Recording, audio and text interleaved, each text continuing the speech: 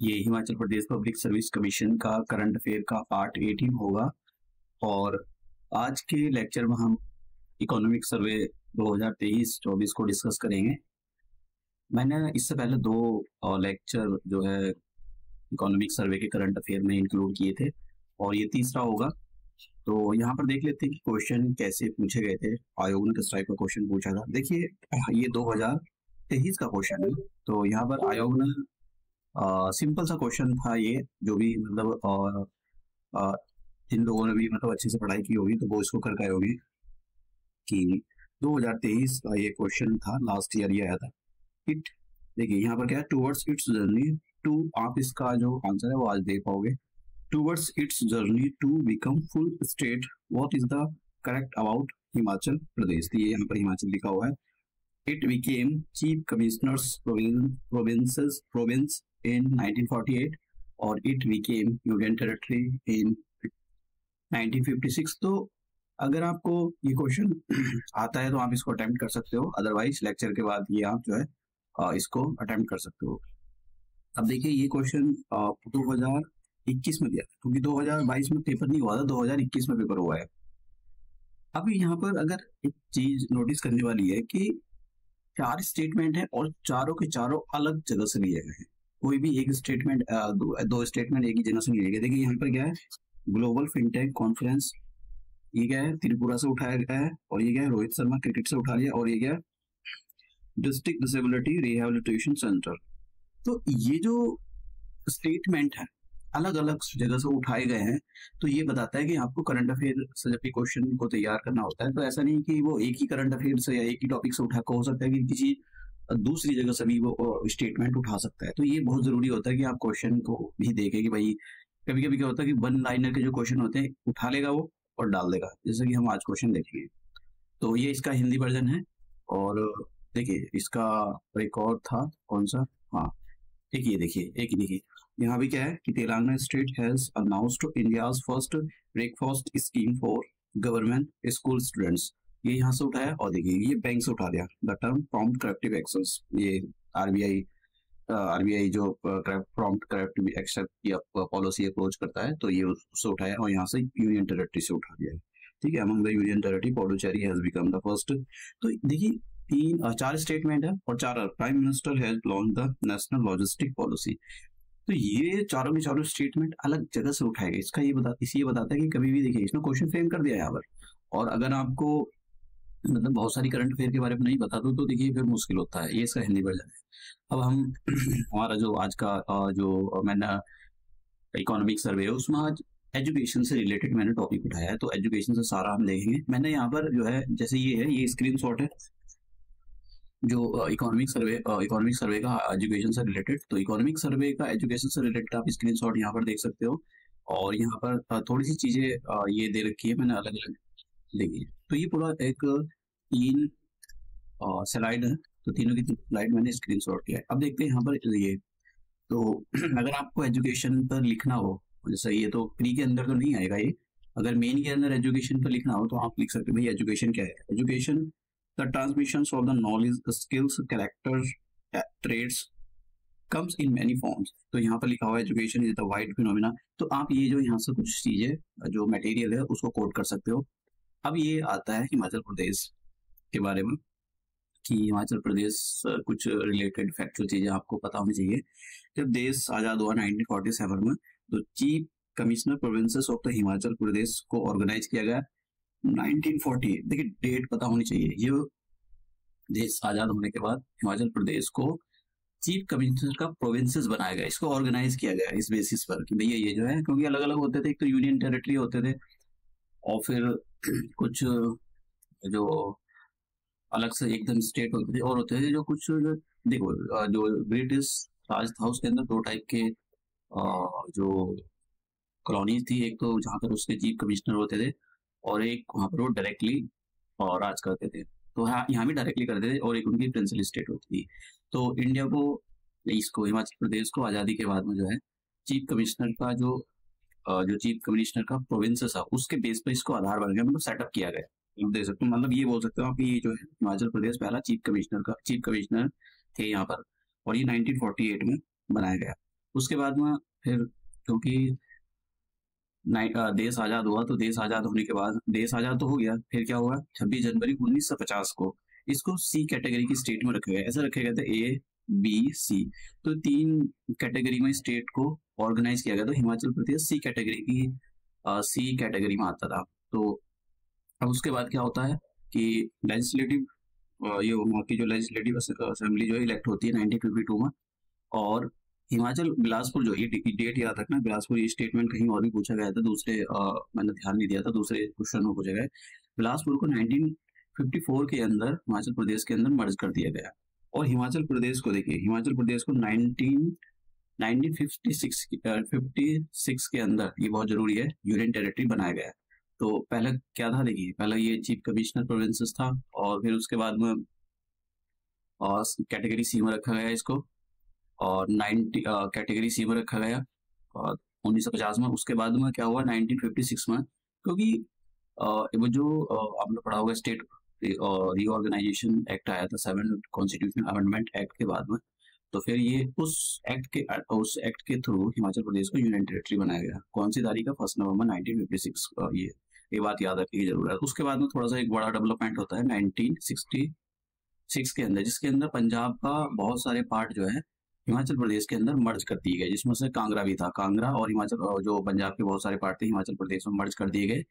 और ये जो मतलब ये याद करने की ज़रूरत नहीं है, बस डेट याद कर लेना सीक्वेंस क्रोनोलॉजी याद कर लेना। उसके बाद में 18 दिसंबर 1970 को जो हिमाचल प्रदेश मतलब state of Himachal Pradesh act pass किया गया पार्लियामेंट के थ्रू और 25 जनवरी 1971 को हिमाचल को फुल फ्लैज का फुल फुल फ्लैज स्टेट का दर्जा दिया गया। और अब जब ये बना था 1971 के अंदर, उस टाइम अट्ठारहवें नंबर का ये स्टेट था।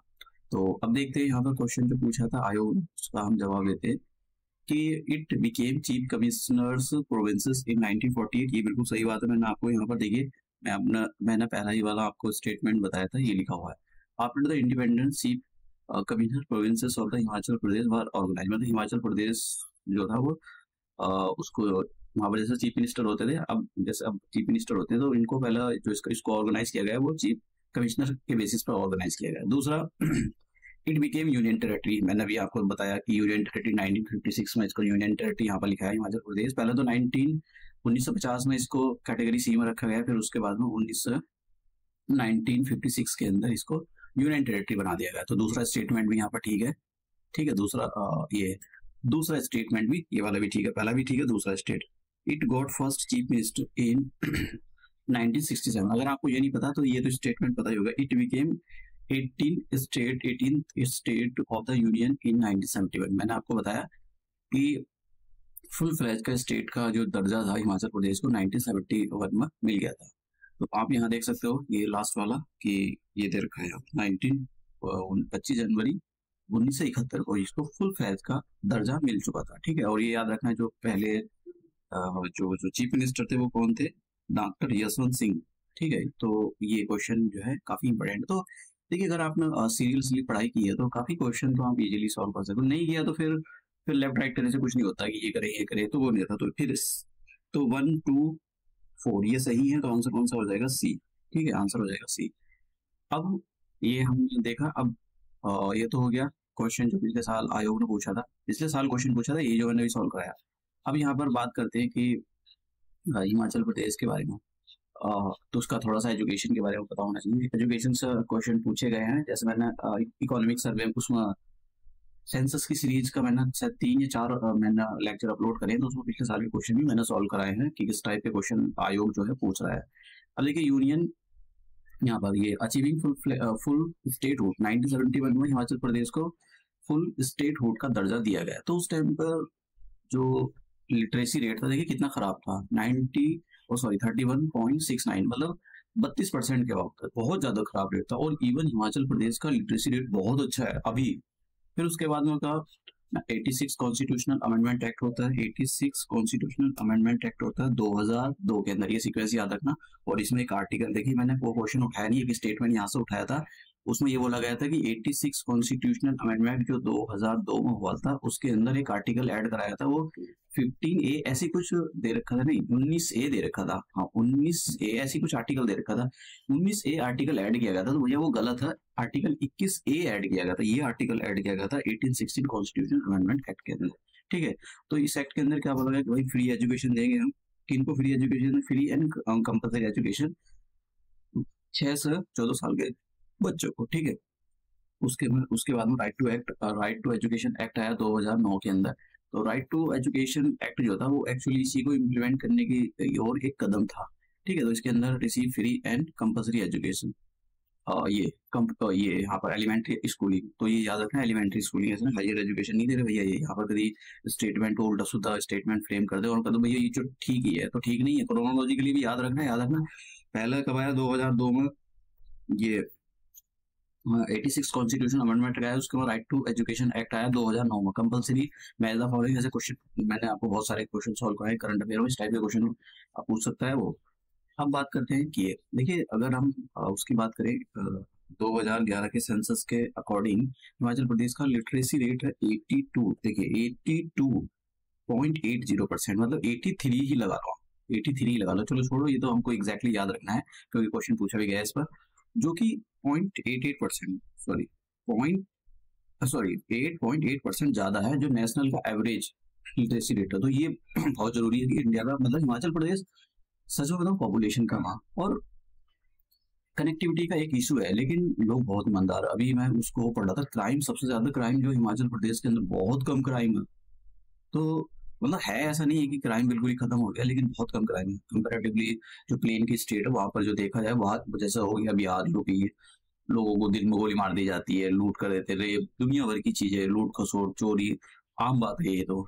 तो मतलब यहाँ पर ये सारी चीज़ें कंट्रोल में हुई है, हिमाचल प्रदेश के अंदर। लेकिन वहाँ पर काफ़ी वो है। अब बात करते हैं यहाँ पर, और वहाँ पर करप्शन बहुत कम हुआ है। हिमाचल प्रदेश के अंदर बहुत ज़्यादा करप्शन हुआ है। यहाँ पर बहुत करप्शन है। जो, अब देखिए जो मेल का लिटरेसी रेट कितना है? देखिए, यहाँ पर मेल का लिटरेसी रेट 89 89 मतलब नब्बे समझ लो इतना है, और फीमेल का लिटरेसी रेट 75 है। फीमेल का कम है थोड़ा सा, ठीक है? और एक ये बात याद रखना, जो ये नेशनल फैमिली हेल्थ सर्वे पाँच जो कंडक्ट किया गया था दो हज़ार उन्नीस, इक्कीस के बीच में, उसके अकॉर्डिंग हिमाचल प्रदेश का लिटरेसी रेट 93.33 परसेंट हो गया। ये स्टेटमेंट आ सकता है भाई, ये बहुत इंपॉर्टेंट स्टेट है। स्टेटमेंट है, जिसमें मेल का 94 हो गया है और फीमेल का देखिए, कितनी बड़ी लंबी छलांग लगाई है इसने कि 2001 सेंसस के अकॉर्डिंग मेल का कितना था? मेल का था सॉरी मेल का कितना था? मेल का था 89.53 और अब 2000 जो ये जो family national family health survey हुआ था, उसके हिसाब से 93 है। तो इसमें बहुत ज़्यादा और 2011 के सेंसस के अकॉर्डिंग फीमेल का लिटरेसी रेट कितना था? 75 था। 75.93 मतलब 76 ही समझो। और अब कितना हो गया? देखो 93 कितना हो गया? सॉरी ये 93 नहीं 91 91 91 आप देखो कितनी लंबी छलांग लगी है। मतलब 96 के अबाउट से सीधा 91 बहुत ज़्यादा बड़ा है। चार ये मतलब बहुत ज़्यादा बड़ा है हिमाचल प्रदेश का लिटरेसी रेट फीमेल का। इसके हिसाब से ये ऑफिशियल डेटा है। मैं अपनी साइड से कोई छेड़खानी या किसी न्यूज़पेपर या किसी से कटिंग वटिंग कुछ नहीं है हिमाचल प्रदेश के जो इकोनॉमिक सर्वे उससे डेटा उठाया हुआ है और हिमाचल प्रदेश का डेटा जो है, किसी, ऐसा नहीं कि किसी ने लोग हिसाब तुम बना दो, किसी उससे बनवा लिया, ठेले वाले से बनवा दिया या सुट्टा मारने वाले से। ये भैया, इसको जो बनाया गया है, बहुत अच्छे प्रोफेसर बनाते हैं। समझ गया कोई ना, कह नत्थु खैरा नहीं वो बहुत पढ़कर जो भारत सरकार के डॉक्यूमेंट पढ़ते हैं तो उससे ये डेटा उठाया गया उन्होंने। तो मैंने इकोनॉमिक सर्वे से उठाया है। देखिए एलिमेंट्री के बारे में बात कर लेते हैं तो इसलिए आपको डेटा पता होना चाहिए, क्योंकि वो क्वेश्चन फ्रेम कर सकता है कि भैया अकॉर्डिंग ऐसा ऐसा ऐसा क्वेश्चन पूछ सकता है national according to the national family health survey five conducted इतने इतने literacy rate in Himachal Pradesh has increase 93 percent ठीक है, और ऐसे ही कुछ ऐसा स्टेटमेंट दूसरा स्टेटमेंट मेल का इतने लिटरेसी हो गया फीमेल का इतना परसेंट लिटरेसी रेट हो गया तो ये क्वेश्चन पूछ सकता है। ठीक है, ये स्टेटमेंट बहुत ज़्यादा इंपॉर्टेंट है। अब एलिमेंट्री एजुकेशन के बारे में बात कर लेते हैं कि एलिमेंट्री एजुकेशन के बारे में। देखिए, अगर प्री स्कूलिंग की बात करें तो टोटल कितने हैं हमारे जो हिमाचल प्रदेश के अंदर? Ten thousand three hundred seventy जो प्राइमरी स्कूल है और मिडिल स्कूल कितने? One thousand eight hundred fifty ये, अगर देखो कनेक्टिविटी हो जाए, देखो मैं आपको एक बात बताता हूँ कि जो रहने का, जैसे मान लो ये प्लेन एरिया है और हिमाचल प्रदेश यहाँ पर, यहाँ पहाड़ी एरिया में आता है, ये तो उत्तराखंड हो गया। तो अगर आप देखो तो अगर कनेक्टिविटी इशू जैसे कि उत्तराखंड है यूके हो गया, और इससे लगा हुआ है ये हिमाचल एचपी तो ये है यूपी हो गया, इधर ये हो गया हरियाणा हो गया, और इधर हो गया ये, क्या बोलते हैं उसको, पंजाब। तो ये वाली जो बेल्ट देख रहे हो ना, ये वाली बेल्ट ये बेल्ट ये इस बेल्ट में एक तो टेम्परेचर मिटिगेट रहता है, अगर सरकार चाहे तो मतलब लोग चाहते नहीं ना, और दूसरा ये हिमाचल प्रदेश में यहाँ पर आप सर्विस सेंटर को जो सर्विस जो सर्विस जो सर्विस सेंटर होते हैं सर्विस सेंटर का मतलब कहीं सर्विस के जो ऑफ़िस होते हैं, उनको यहाँ जैसे कि हिमाचल के बहुत सारे बड़े शहर हो गए, वहाँ पर आप कंपनी को शिफ्ट कर सकते हो, जो सर्विस देती हो। तो सर्विस में ऐसा नहीं होता कि मतलब आप घर पर ही कॉल करके सारी सर्विस करते हो, अगर कनेक्टिविटी अच्छी हो जाए तो भाई फ़्लाइट के थ्रू आप जो है बड़े बड़े शहरों में यहाँ से सर्विस लेकिन प्रॉब्लम क्या है? प्रॉब्लम यही है कि एक तो जो पॉलिटिक्स होती है पॉलिटिक्स की वजह से यहाँ पर जो है और ये सेंटर इतने डेवलप नहीं हो पाए। पॉपुलेशन सारी कहाँ बढ़ती है? सारी इधर ही दिल्ली को बढ़ रही है। दिल्ली में है क्या? सच बताऊँ तो कुछ नहीं है दिल्ली में। बस हवा मचा रखा है दिल्ली में, जिसकी वजह से क्या है, सारे लोग यहीं पर आते हैं। कंपनियाँ भी यहीं पर आते हैं। अदरवाइज़ यहाँ पर रहने के लिए एनवायरमेंट मतलब एकदम गोबर है। यहाँ पर कोई, आप किसी भी जोग्राफर से पूछ लो, किसी से भी पूछ लो, ये तो बहुत बेकार एरिया है। लेकिन ज़बरदस्ती यहाँ पर पॉलिटिशियन और ये माइंड सेट ऐसा बना दिया कि दिल्ली चलो दिल्ली चलो। तो ये हिस्टोरिकली भी एक उसका एक रीजन है कि दिल्ली चलो दिल्ली चलो दिल्ली चलो, कोई दिक्कत नहीं है। लेकिन सारे ऑफ़िस एक ही जगह कॉन्सेंट्रेट करना ये कोई सोल्यूशन नहीं है। तो इसकी वजह से क्या है कि ये जो स्टेट है हिमाचल प्रदेश हो गया, वो जो नॉर्थ ईस्ट के रीजन हो गए, यहाँ पर कोई डेवलपमेंट नहीं हो रहा है। क्योंकि सारे लोग कहाँ जा रहे हैं? दिल्ली जा रहे हैं। दिल्ली के आसपास के एरिया में कहाँ डेवलपमेंट हो रहा है? दिल्ली के, दिल्ली एनसीआर में डेवलपमेंट हो रहा है। तो लोग छोड़ छाड़ के दिल्ली एनसीआर के चारों तरफ़ घूम रहे हैं। तो ये ये जो है सरकार की नाकामयाबी ना मतलब सरकारों की पॉलिटिशियन और जो भी है जिनको, चलो छोड़ो, कुछ नहीं कहते। तो इसकी वजह से जो है ये जो स्टेट जो हिली एरिया में है, उनका डेवलपमेंट नहीं हो रहा है। तो ये याद रखना यहाँ पर कि हिमाचल प्रदेश के अंदर कितना एलिमेंट्री स्कूल है। और एक प्रॉब्लम क्या है कि ये आपको मेन में लिखने का काम आएगा कि जो सबसे बड़ी दिक्कत क्या है, एक तो स्कूल में टीचर की शॉर्टेज है नंबर दो। जो स्किल टीचर है, उनकी शॉर्टेज है। देखो, पढ़ाने के लिए क्या है, यदि मैं बताता हूँ अभी होता गया सत्तर परसेंट, अस्सी परसेंट किसी के बन जाते हैं। आम बात होगी आज की डेट में तो मतलब जो मैं ऐसा बोलता हूँ कि जो लड़की चूल्हा फूक रही है टेंथ क्लास में भी उसके जो है अस्सी परसेंट बन जाते हैं। बड़े आराम के साथ, अगर उसने दो तीन दांत पहले किताब उठा ली तो अस्सी परसेंट तो कहीं नहीं गए। तो अब, लेकिन उसको नॉलेज नहीं है। उसको, उसका जो स्किल डेवलपमेंट नहीं हुआ तो या लड़के हो गए। तो सुट्टा मारेंगे इधर उधर लौंडियों के पीछे घूमते रहेंगे बाइक लेकर। तो स्किल डेवलपमेंट हुआ है। थोड़ा सा पढ़ लिया भैया एट्टी परसेंट टेंथ में आ गया। थोड़ा सा और पढ़ लिया तो भैया अस्सी परसेंट उसमें आ गया इलेवंथ में आ गया। थोड़ा सा ग्रेजुएशन में कोई इधर उधर के सब्जेक्ट लेकर उनके बन गए, वहाँ पर अस्सी परसेंट तो मतलब वैसी कट ऑफ़ निकलती है तो हो गया काम। ठीक है यूपी में तो बहुत सारे ऐसी की कट ऑफ़ निकलती है भैया, वो हो गया काम, बस बन गया तुम प्राइमरी टीचर लेकिन पढ़ाने जब जाएँगे, वही लड़का होगा तो वो सुट्टा मार रहा होगा कहीं, स्कूल में सुट्टा मार कर पढ़ाना जाएगा तो वो क्या बच्चा का मतलब बच्चों को एजुकेशन देगा? तो ये बड़ी समस्या है। तो मतलब स्किल टीचर की ज़रूरत है यहाँ पर। और जो टी, जो टीचर है उनकी शॉर्टेज तो है ही है। सभी जगह ये हाल हिमाचल प्रदेश का नहीं है सभी जगह हमारे यहाँ पर स्किल डॉक्टर की ज़रूरत है और स्किल टीचर की ज़रूरत है। हमारे यहाँ पर डॉक्टर बनते ये बंदे वो सब पैसे वैसे दे जाओगे क्वालिटी डिग्री उसमें कहते प्राइवेट वाले सो ले लो आप डिग्री सब बन जाते। हैं अब बात करते हैं सीनियर सेकेंडरी की। तो सीनियर सेकेंडरी के अंदर ये यहाँ पर डेटा दे रखा है। तो यहाँ पर जो देखिए गवर्नमेंट की बात हो रही है यहाँ पर प्राइवेट की बात नहीं कर रहा हूँ। मैं कभी आप सोच रहे हो कि प्राइवेट प्राइवेट तो है प्राइवेट देखो एक बात बताऊँ। इंडिया के अंदर एजुकेशन को अगर, और हेल्थ को, अगर ये किसी ने संभाल रखा है तो वो प्राइवेट सेक्टर प्राइवेट को हम क्या करते हैं? दिन रात गाली देते हैं, इतने पैसे ले लिए, इतनी फ़ीस बढ़ा रखी स्कूल की। भैया, प्राइवेट सेक्टर ना हो ना, ये जितने बंदे आई में बैठे रहते हैं, आईआईटी में निकलते ना, वो और आई में बड़े बड़े स्टार्टअप बड़े बड़ी कंपनियों में जाते हैं, वो कहीं नहीं जाएँगे। गवर्नमेंट का तो इतना बुरा हाल है, गवर्नमेंट स्कूलों का तो मतलब कुछ नहीं बोलो, बस शब्द ही नहीं है कहने के लिए। बहुत बुरा हाल है इनका। मतलब सच बताऊँ तो कोई भी बच्चा, कोई भी अच्छा इंसान अपने बच्चों को गवर्नमेंट स्कूल में नहीं पढ़ाता है। एजुकेशन है ही नहीं। उनको ना जो असर रिपोर्ट निकलती है, इसमें मैंने इंक्लूड नहीं किया है। असर रिपोर्ट के अंदर उनको पढ़ना ही नहीं आता, बताओ। इंग्लिश पढ़नी नहीं आती है। मतलब एजुकेशन के मामले में तो ये गवर्नमेंट स्कूल तो मतलब एकदम ओवर है। इनका कुछ नहीं कर सकते। इनका कुछ नहीं हो सकता यार। सीधा ये बोलो, कुछ नहीं हो सकता। जन्म तो कुछ नहीं हो सकता। उनका तो इनका तो ये हो सकता है, इनको प्राइवेटाइजेशन कर दिया जाए। प्राइवेटाइजेशन में प्रॉब्लम है कि फ़ीस बढ़ जाती है, लेकिन education quality of education improve होती है। एक साइड आप जो है फिफ्थ क्लास वाले बच्चे को बैठा दो। एक साइड जो स्कूल सरकारी स्कूल में पढ़ता है और एक साइड बैठा दो आप प्राइवेट वाले को। प्राइवेट वाला ऐसी फर्राटे वाली इंग्लिश पढ़ेगा, बोलेगा और ऐसे अच्छे से सम सॉल्व करेगा, लेकिन जो फिफ्थ क्लास जो फिफ्थ क्लास का बच्चा सरकारी स्कूल है तो उसको तो पढ़ना भी नहीं आएगा। एक लाइन भी नहीं पढ़ सकता इंग्लिश की, लिख भी नहीं सकता कैसे जो क्वेश्चन को फ्रेम करते हैं या स्टेटमेंट फ्रेम करते हैं इंग्लिश में। ये बहुत बड़ी समस्या है। कि यहाँ पर गोबर कर रखा है। मतलब मैं ये नहीं बता रहा हूँ कि भाई हिमाचल प्रदेश ये ऑल इंडिया में यही आता चाहे दिल्ली हो या कोलकाता हो या बड़े बड़े शहर कोई भी हो ये करंट अफेयर आ गई इंडिया का first centre of excellence is online gaming कहाँ पर खुला है भैया? ये याद रखना श्री ये ये यहाँ पर खुलने के लिए जा रहा है। ये दो हाँ, यहाँ पर मेघालय मेघालय में श्रीलॉन्ग के अंदर। तो ये बात याद रखनी स्टेटमेंट उठा सकता है। एक वन लाइनर क्वेश्चन है ऐसा नहीं कि भाई बहुत ज़्यादा मैंने आपको दिखा दिया।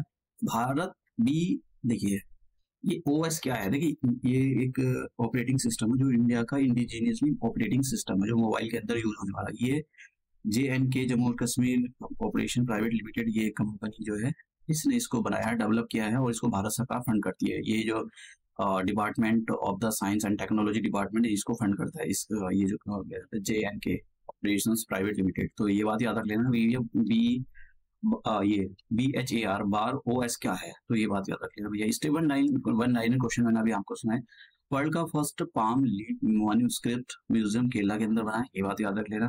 ठीक है? ऐसा होता है मतलब कि जो छोटी छोटी पत्तियाँ होती है, उस पर जो है स्क्रिप्ट को लिखा जाएगा ऐसा। और देखिए केरला बिकेम द कंट्रीज़ का first fully digital banking system banking state तो मतलब यहाँ पर जो है सारा का सारा ऑनलाइन काम होता है बैंकिंग के थ्रू कोई ऑफलाइन नहीं होता है, केरला पहला स्टेट बन गया हाइड्रोजन मिशन करके जा रहा है यार, ये हाइड्रोजन मिशन काफ़ी इंपॉर्टेंट है। अभी प्राइम मिनिस्टर नरेंद्र मोदी जी की कल ही मीटिंग हो रही थी तो वो ग्रीन हाइड्रोजन हो गया ग्रीन एनर्जी होगी इस पर बहुत ज़्यादा फोकस उन्होंने बोला है कि हम बहुत अच्छा काम करेंगे। तो मतलब उन्होंने बोला कि भैया ग्रीन रेवोल्यूशन फिर से आने वाली है। तो मतलब ग्रीन रेवोल्यूशन खेती के अंदर नहीं आएगी, आपको हर जगह आने वाली है। तो इन्होंने कितना फंड एलोकेट किया था? देखिए, उन्नीस हज़ार, ये जो, ये उन्नीस हज़ार सात सौ चवालीस करोड़ फंड जो का फंड एलोकेट किया है, जिसमें से कि सत्रह हज़ार चार सौ नब्बे करोड़ जो जाएँगे, वो इन्वेस्टमेंट में जाएँगे कि भैया जो जो भी इन्वेस्टमेंट होनी है ग्रीन हाइड्रोजन को बनाने के लिए, और एक हज़ार चार सौ, एक हज़ार चार सौ one thousand four hundred sixty six crore जो है, ये उसमें जाएँगे किसमें जो पायलट प्रोजेक्ट होते हैं मतलब जो शुरुआती चार सौ करोड़ रिसर्च और डेवलपमेंट में जाएँगे, ठीक है? और तीन three hundred eighty eight crore जो जाएँगे अदर दूसरे कंपोनेंट्स में जाएँगे ग्रीन हाइड्रोजन का। तो ये ये भी ना पता हो तो कोई दिक्कत नहीं। अब फ़ायदे देखते हैं भाई, क्या फ़ायदे देखो, एक तो सिंपल सी बात है भाई जो है जॉब अपॉर्चुनिटी बढ़ेगी, ठीक है? देखो, आप देखो, सरकारी नौकरी के बेसिस पर आप यार किसी को मतलब सरकारी नौकरी क्या है? सरकारी नौकरी क्या होती है? सरकारी नौकरी अगर कोई कहे सरकारी नौकरी से हम सारा ये जो अनएम्प्लॉयमेंट की प्रॉब्लम इसको दूर कर देंगे। वो आपको बेवकूफ़ बना रहा है, वो कुछ नहीं कर रहा है, चाहे कोई पोलिटिशियन है या कोई भी ऑफिसर कुछ नहीं हो सकता सरकारी नौकरी से। सरकारी नौकरी क्या है? सरकारी नौकरी से, सच बताऊँ तो यार, अगर आई आई ऑफिसर होता है आई ऑफिसर उसका अगर आप उसको वो ना दो सैलरी उसकी साढ़े तीन लाख रुपए सुपर स्केल जाता है जब उसकी होती है अदरवाइज़ इतनी सैलरी नहीं होती लेकिन वो दो नंबर करप्शन कर कर आई के बंदों से करोड़ों की सैलरी पैकेज कमाते हैं। अगर ये ईमानदारी से काम करें, जो ईमानदारी से काम करते हैं, वो उनको फालतू चीज़ों से मतलब नहीं होता, वो अपनी एज मर्सिडीज बी एमडब्ल्यू कि मेरे पास इतने फ्लैट हो इतने उनको कोई मतलब नहीं होता। है वो सिंपल सी बात है, उनको सारी फैसिलिटी मिलती है वो ईमानदारी से काम करते हैं। बहुत सारे लोग I S officer I P S होते हैं, लेकिन मोस्ट ऑफ़ दैम जो I S C I P S होते हैं, वो सारे करप्ट है। ये डेढ़ सौ या कितने भी निकलते हैं, वो सारे के सारे इसके अंदर मुश्किल हार्डली दस ऐसे होंगे। अदरवाइज़ ये सब करप्ट ऑफिसर ही होते हैं।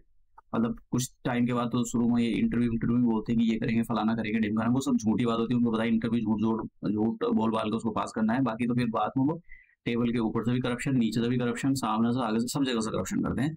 और उनके सबसे सबसे बड़ी प्रॉब्लम क्या है? इन I S I P S को ऑफिसर को भारत सरकार गवर्नमेंट ऑफ़ इंडिया प्रोटेक्ट करती है। आप इनके खिलाफ कोई प्रोसीडिंग स्टार्ट नहीं कर सकते हो। कितना ही बड़ा है, इनका कुछ नहीं होता है। तो ये सबसे बड़ी प्रॉब्लम है कि इनका कुछ नहीं होता है। ना तो इनको कोई सजा है नहीं मौत है, ना कुछ नहीं होता है। तो ये बड़ी समस्या भारत सरकार इनको बचा कर रखती है। आप समझ रहे भारत सरकार अम्ब्रेला लेकर खड़ी हुई है। इनके ऊपर जरा से भी आँच नहीं आने वाली है। चाहे कितना भी करप्शन कर लें, कोई भी लेना देखो, अभी क्या होता है इलेक्शन होते हैं जनरल, बताओ भाई, कितनी ज़मीन है, कहाँ खरीदा है, कितना पैसा है बैंक में कहा इन्वेस्ट सारा बताना पड़ता है इनसे पूछो भी, इनके पास कितना है? पब्लिक डोमेन में आता ही नहीं है तो बहुत पैसा वो ईमान, ईमानदारों को हटा रहा हूँ मैं यहाँ पर, वो साले जो जो सभी दो नंबर के करप्ट करके पैसा कमा रहे हैं, दो नंबर का बहुत सारे। तो इस देखो हाइड्रोजन ग्रीन हाइड्रोजन से क्या होगा, एक तो कटिंग टेक्नोलॉजी आएगी, क्योंकि भारत सरकार काफ़ी एम्प्लॉयमेंट जनरेट होगा, दूसरा हम भारत में जो बाहर से फ्यूल मंगवाते हैं, उसकी जो जो हम डिपेंड रहते हैं दूसरी कंट्री में, वो कम होगा और फॉसिल फ्यूल्स से ऑटोमेटिकली हम जो फॉसिल फ्यूल्स हमारी इकोनॉमी टिकी हुई है उससे हमको छुटकारा मिल जाएगा और हम जो है क्लाइमेट चेंज की ओर एक बड़ा कदम उठा मतलब एक बड़ा कदम होगा ये। हम अपनी जो इंडस्ट्री है, उसको डिकार्बोनाइजेशन करवाएँगे तो ये पॉइंट आप मेन में भी लिख सकते हो, अगर कहीं ग्रीन हाइड्रोजन से रिलेटेड क्वेश्चन आते हैं।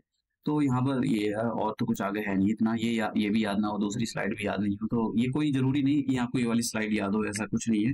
ये भी आप लास्ट वाली स्किप कर सकते हो बस मैंने डाल दिया था कि आप एक बार पढ़ लो इसको। ये वाली स्लाइड आपको थोड़ी पता होनी चाहिए ये वाली स्लाइड ठीक है और कहाँ स्लाइड ये दो स्लाइड आपको पता होनी चाहिए कि ये बाकी पता हो या ना पता हो उसको कोई मतलब नहीं तो हम अपना लेक्चर यहीं समाप्त करते हैं मिलते हैं। नए लेक्चर में नए क्वेश्चन के साथ।